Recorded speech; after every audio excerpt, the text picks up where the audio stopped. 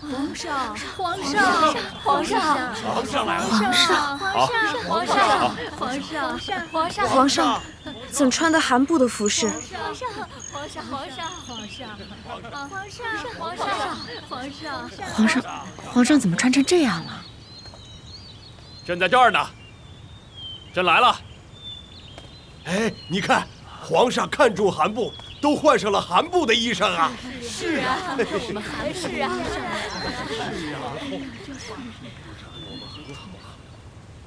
小姐，给皇上请安。给皇上请安。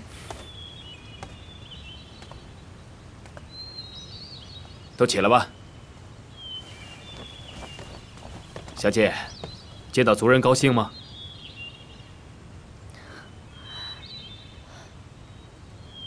你为何穿成了我韩部男儿的模样？既然你不愿意先成为朕的女人，不愿意改变你的装束，那朕就为你变成韩部男儿。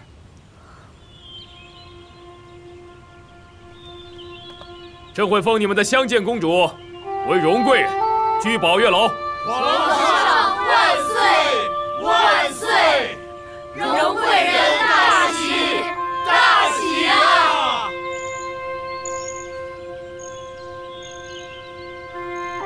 朕叫你们来，是要告诉你们，在宫中所有人都要容得下荣贵人，与他和睦相处，别再闹出什么和宫求见之事了。臣妾知道，臣妾恭喜皇上，恭喜荣贵人，愿荣贵人与皇上两心相许，珍重到老。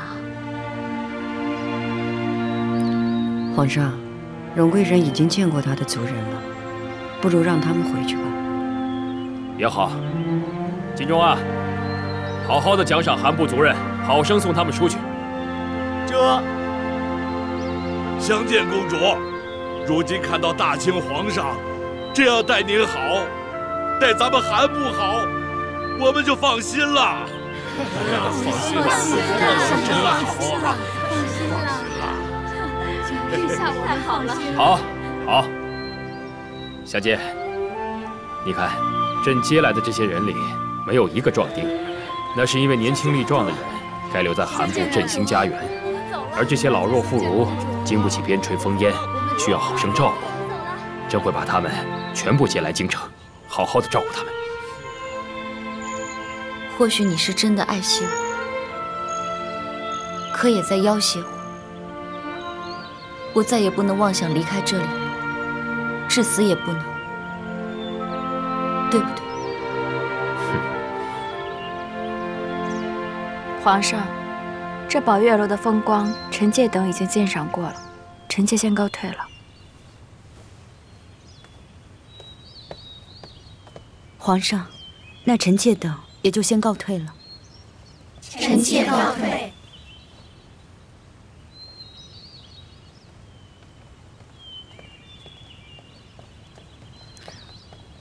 皇上，臣妾伺候您更衣吧。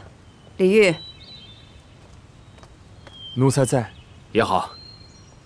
香见啊，你也累了，你先下楼等着朕，好好歇一歇啊。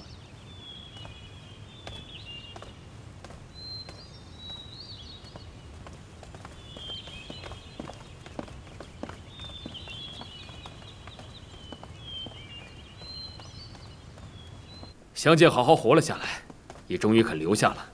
如意啊，朕要谢你啊！皇上得偿所愿，臣妾恭喜皇上。嗯，还请皇上更衣吧。朕并不觉得穿着韩布袍服有何不妥啊。朕是天下人的天子嘛，着自己子民的衣服，不论哪个部族都很妥当。下去吧。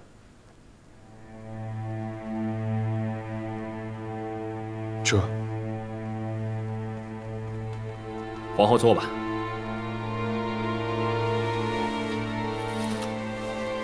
皇上，满蒙联姻多年，关系最为密切，也不见哪朝天子穿了蒙古的袍服。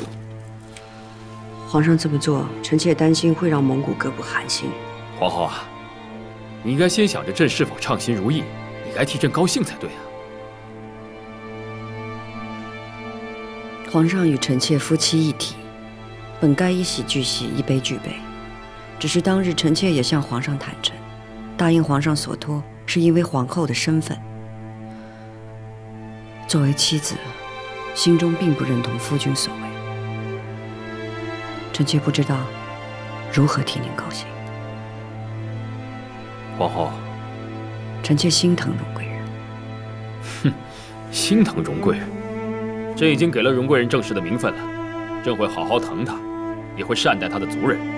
皇后你，只要做好六宫的表率，善待她，这日久天长的，朕相信荣贵人有一天会知晓朕的心意。千古艰难为一死，伤心岂独惜夫人。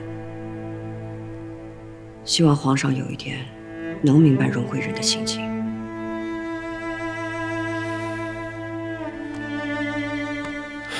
如意，你说的，朕何尝不懂呢？朕原本想让相见入宫，接受韩部的示好，也让边地各部落和睦，想着他入宫之后冷着他就是了。可是朕第一眼见到他的时候，就知道自己没办法了。如意啊，朕是真的喜欢他。朕知道得不到他的心，但他人在也是好的。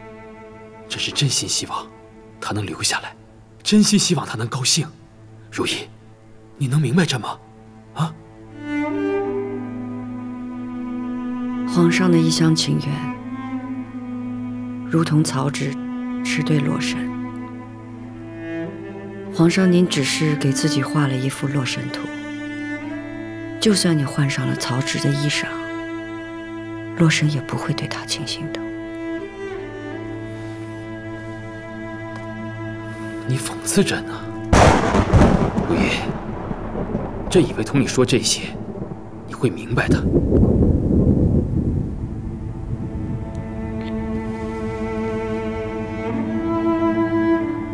皇上，臣妾陪伴您多年，自以为和您有心意相通之处。可自从相见入宫，皇上自己封魔至此，臣妾是真的不能明白的。皇上，您就当臣妾不懂您，臣妾的话也白说了吧。臣妾告如意，如意。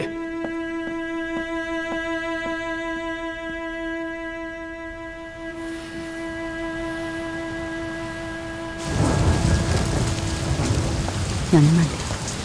皇后娘娘，皇后娘娘晚安。起了吧。郎大人，您怎么在这儿？皇上，明臣来此为皇上和荣贵人吐露画像。啊。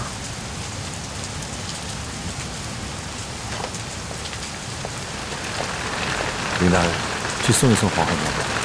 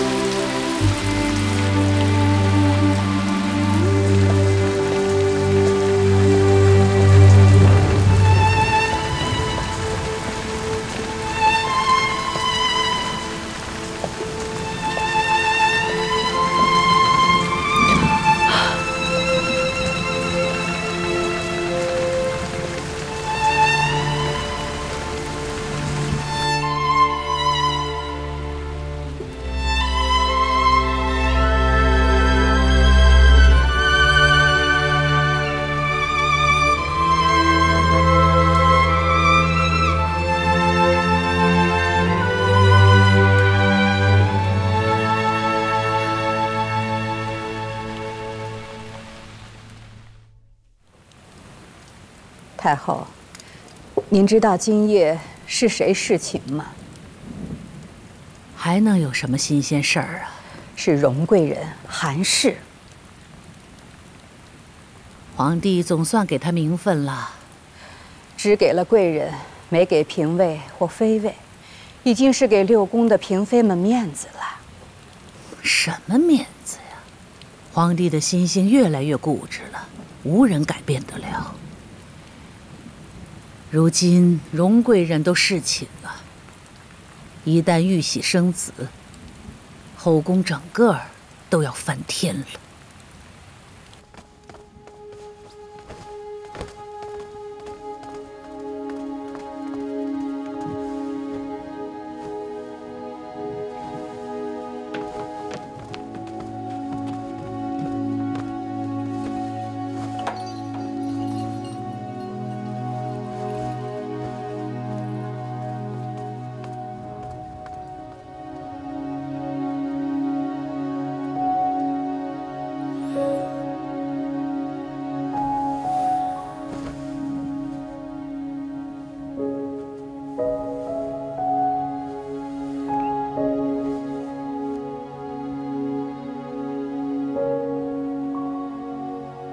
小姐，你别害怕，别担心，往后朕会好好待你和你的族人的。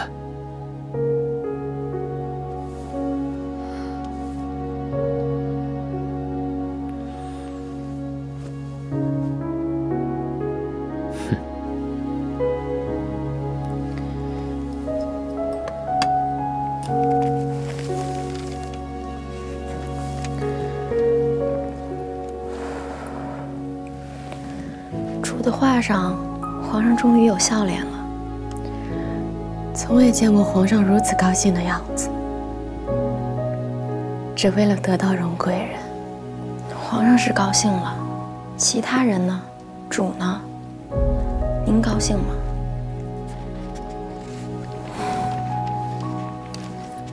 我高不高兴，谁会在乎呀？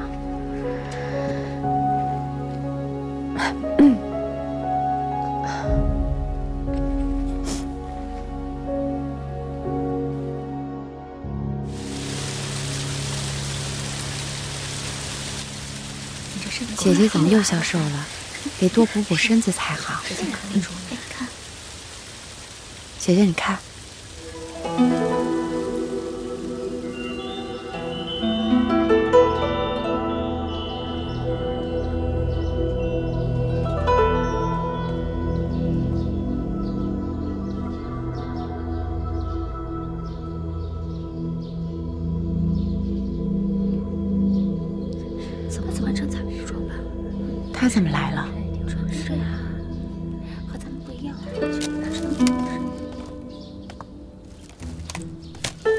后娘娘起身了，请各位主入内。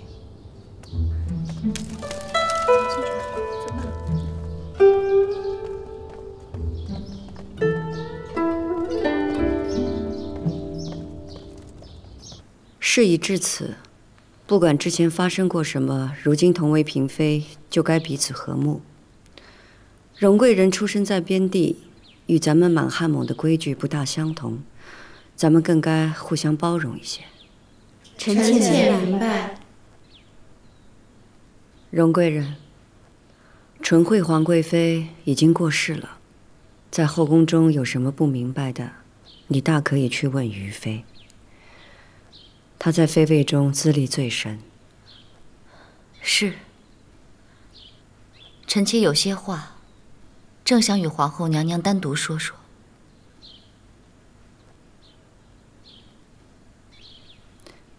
你们都告退吧。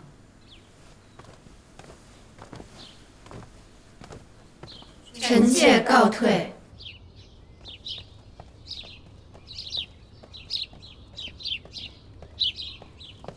得，知道巴结上皇后了。看你穿上这身衣裳，倒真正有嫔妃的模样了。多谢皇后娘娘。你既然已经开始侍寝了，免不了会和后宫的人打交道。那些人你若不喜欢，不理会便罢了。臣妾会恪守对您的规矩，是因为您教会了我许多。只有您，才会对臣妾说那样的话。只是臣妾一直都不明白，您为何要去劝一个被您夫君痴缠的女子呢？您若是盼着她死了，或是出宫，不是更好吗？本宫是大清的皇后，皇后不仅是妻子，更多的是服从和责任。您曾经跟我说的那个少年郎，是皇上吗？当然是。其实跟我比起来，至少您的少年郎还活着。人活着是会有转机的，不像我和韩琦，天人永隔，我再也寻不到他了。你即使再也寻不到你的韩琦，可他在你心里，永远是当初最美好的模样。本宫的少年郎，不说这个了。你不是有话要和本宫说？皇后娘娘，事到如今，有件事情臣妾没法子不做打算。什么事？就算侍寝，怎么样才能没有身孕呢？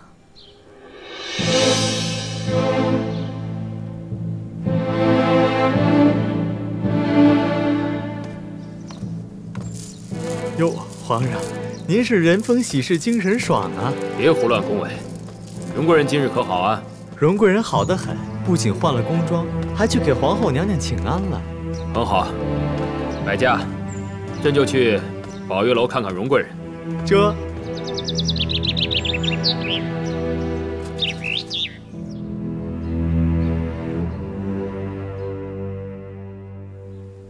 皇上这些日子，除了和大臣们议事，就待在宝月楼，是不出来了。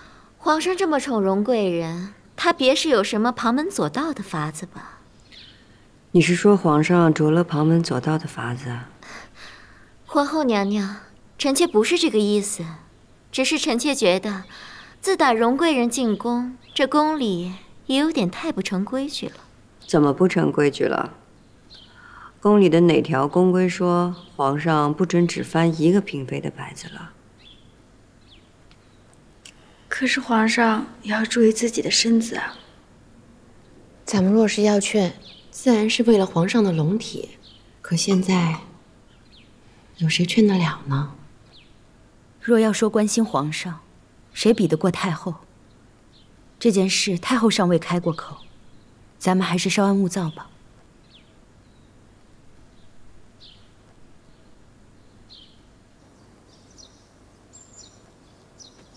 嗯，这对甜白瓷的瓶子极好，记得送到宝月楼去。这，眼看啊就要起冷风了，这荣贵人。不习惯京城的气候，记得早些送些红罗炭到宝月楼去。奴才记着了。皇上，沙枣花。好，荣贵人呐，最喜欢沙枣花的香气，一日也离不得。皇上不是嘱咐了，每日都在养心殿供沙枣花。皇上在宝月楼周围多种沙枣树，为的便是荣贵人高兴。只要荣贵人高兴，这些算不了什么。婉音，你最近倒是常出来走动。以前有纯惠皇贵妃姐姐能陪我说说话，可现在倒好，姐姐走了，整个钟粹宫空荡荡的，冷清的很。过来和娘娘做个伴儿，心里倒踏实些。娘娘，想来今年初春的时候。皇上不知为何突然想起了臣妾，翻了臣妾的牌子。那个时候，我慌张的连话都不会说了，手和脚也不知道该往哪儿放。仔细算算，已经有六年四个月零三天没有侍寝了。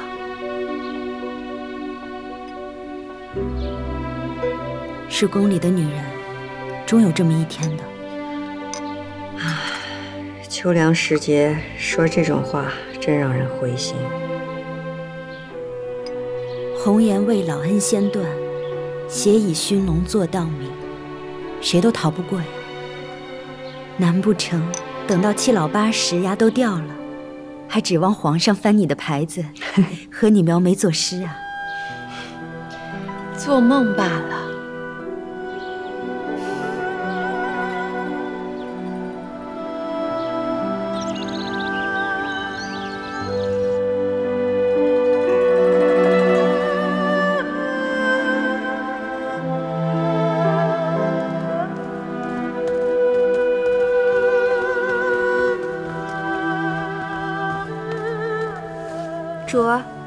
上差人送来了您和皇上的画像。收起来，藏到后头的格子里，再不许拿出来。是。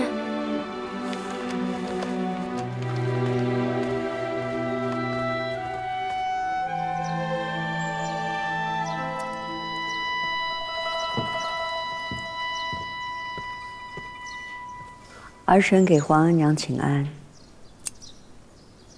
皇额娘在修沙枣花，这花不适合在宫里长，便修剪修剪。从前只听闻，唐玄宗为了杨贵妃千里送荔枝，跑死了好多马。如今到了咱们皇帝这儿，到来了这一出。一骑红尘妃子笑，无人知是枣花来。真真儿是一桩奇闻了。儿臣无能。唉，皇帝是昏了头了，被韩氏迷住。哀家无法阻止韩氏进宫，也无法阻止他侍寝。原本看他拒绝皇帝的样子，想皇帝。会知难而退，死了这份心。可如今，韩氏都侍寝了，你可曾想过，皇帝如今如此执迷，入了魔障，韩氏以后有了孩子，会如何呢？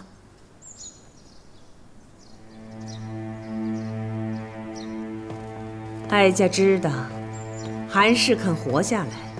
是皇帝让你去劝的，但哀家也知道，韩氏的心始终都在他去世的未婚夫婿那儿，这就什么事都有可能发生。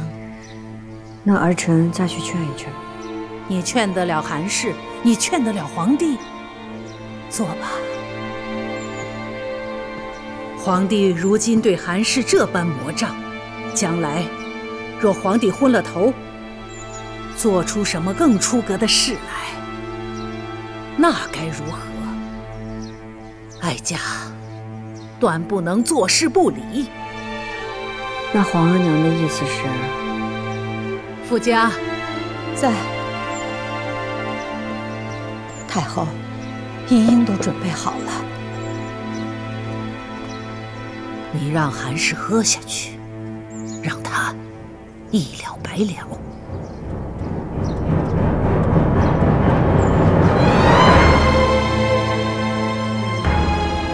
儿臣知道皇额娘这么做是为了皇上的圣誉、思虑，只是这样贸然要了韩氏的性命，岂不是伤了皇上的心？哀家知道皇帝心疼韩氏，哀家也并不是想要韩氏的性命，只是让他清静伺候皇帝，别激得皇帝越发任性。皇额娘。明明知道让儿臣这么做，皇上是会恨儿臣的。你当日替皇帝去说服韩氏留下性命，是皇帝拿着你皇后应尽的职责，迫着你去。哀家今日迫你，也是一样。只因你是六宫之主，安定后宫是你的职责，所以这件事是哀家的意思，但也只能由你亲手端去，看他喝下。若让韩氏喝下这碗汤药，是顺了您的心，却也是大大逆了皇上的意。儿臣要听皇上的，也不能不听皇额娘的。除了两难，别无他法。你身为中宫，该听的听，该做的做，便是。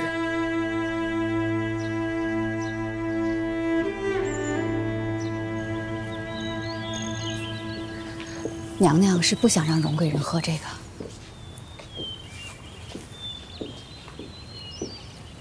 娘娘，之前荣贵人求过您，说她不想要孩子，如今太后有此意，也算是成全了荣贵人。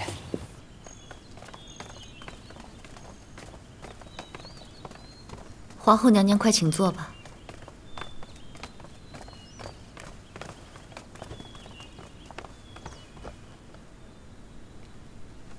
皇后娘娘，这些都是我们韩部爱吃的东西，你也尝尝。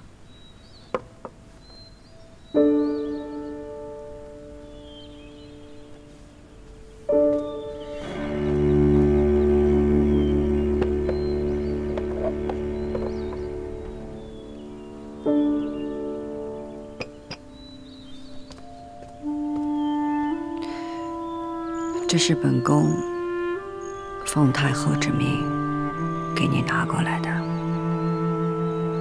就是你想要的汤药。喝与不喝，在你。当然喝，是成全我的好东西呢。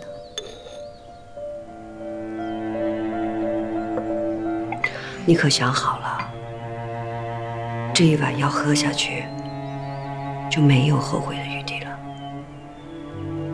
没有什么可后悔的。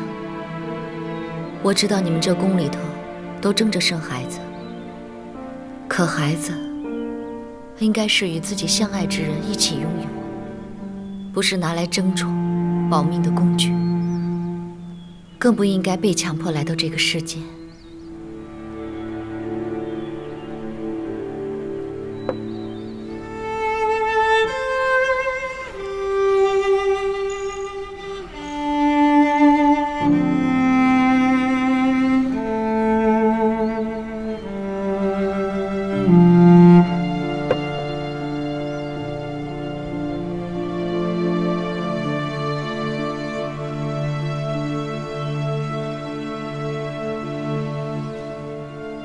哈利，去把姜太医找来吧。荣贵人怕是要受苦了。是。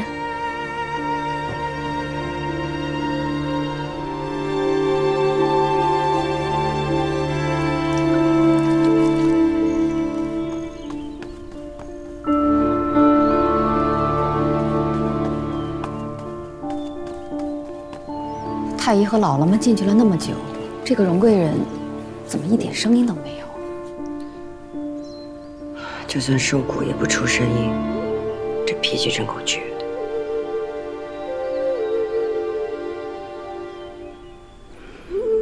娘娘，事已至此，还是想想怎么和皇上交代。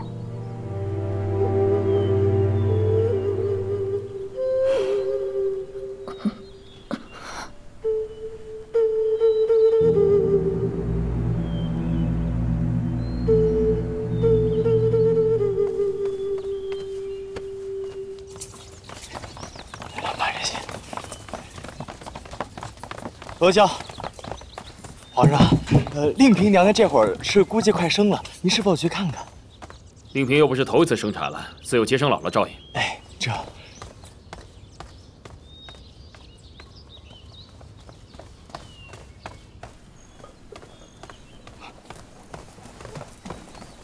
微臣给皇上请安。怎么样，小姐如何了？荣贵人身子有碍，只是，只是无法生育了。谁做的？谁做的？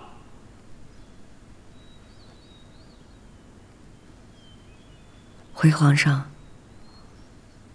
是臣妾所为。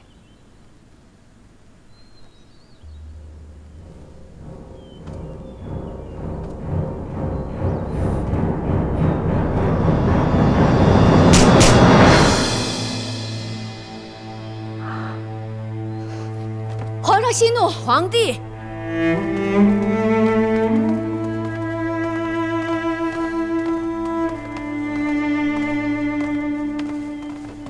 皇娘怎么来了？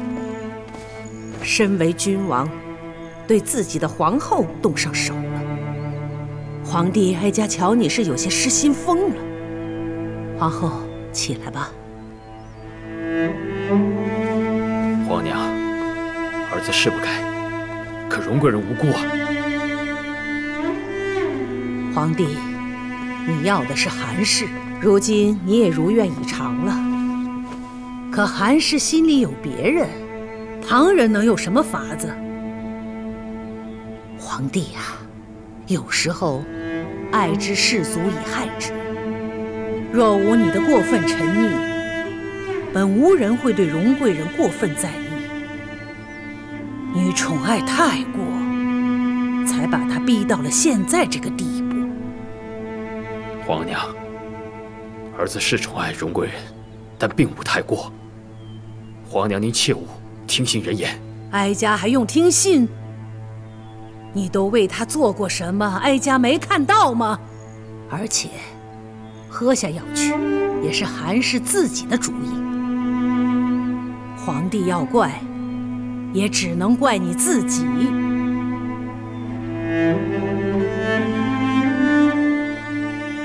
皇额娘在此，您也好好的劝劝皇上。儿臣告退。皇后受委屈了，去吧。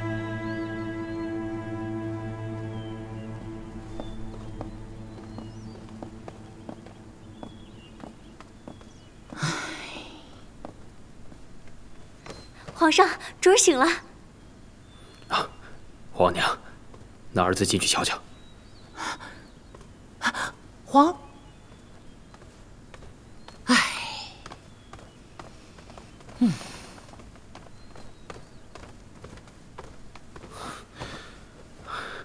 小姐，你醒了。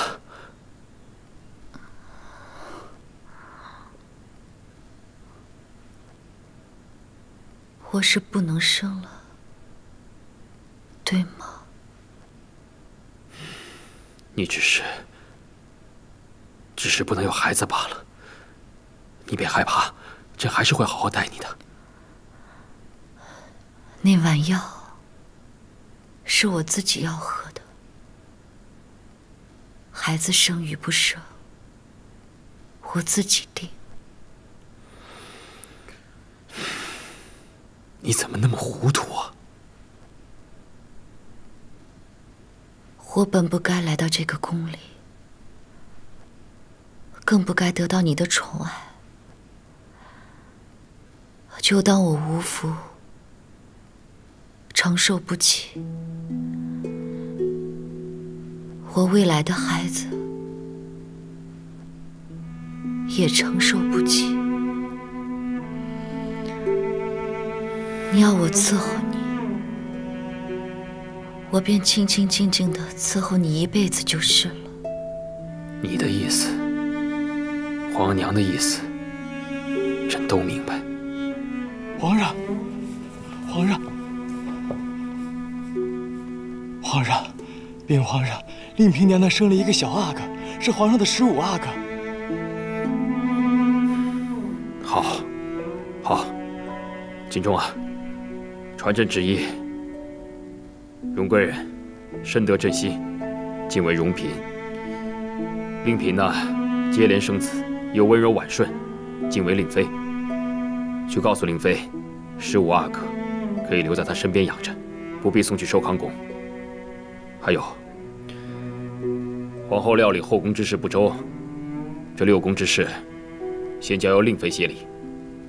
这，下去吧。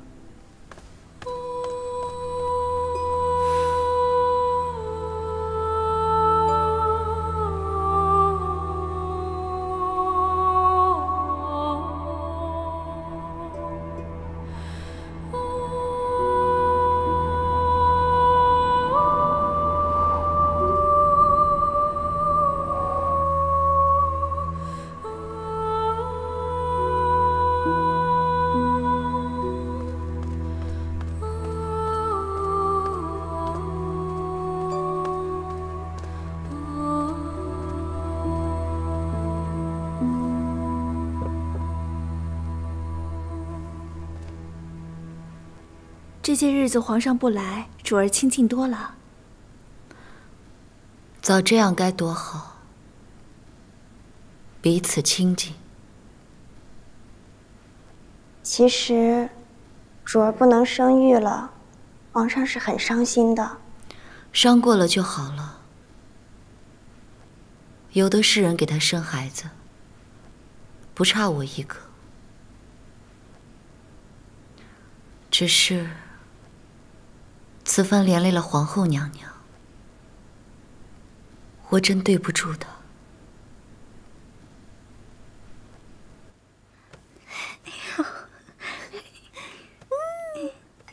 真可爱啊！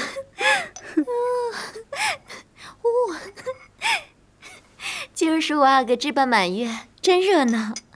令妃姐姐料理后宫，比皇后那时可是不同气象。别这样说。皇后被皇上冷落，你还落井下石。妹妹，这是替您高兴。高兴什么呀？别欢喜起来就胡乱说话。妹妹是高兴十五阿哥能在您身边养育。多谢妹妹吉言。这也是本宫啊第一个留在自己身边的孩子。若是把另几个都接回来，那才算得上团圆。姐姐放心，一定会的。哎。春晨，皇上怎么还没来？说是十二阿哥正在养心殿跟皇上说话。哦，祭金奇神，祭金。娘娘，于妃娘娘和颖妃娘娘来了。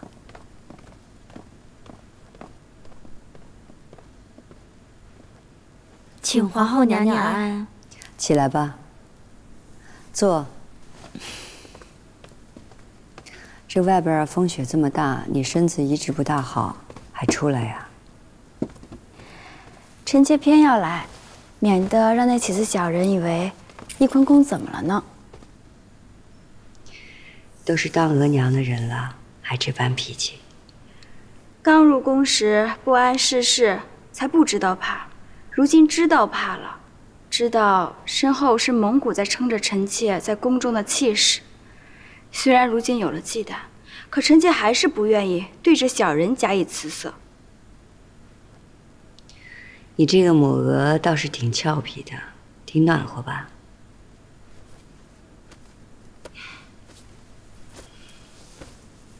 这个抹额是令妃特意叫人送来的，臣妾一直不想戴，可不曾想皇上知道了此事，还特意问了臣妾为什么不戴。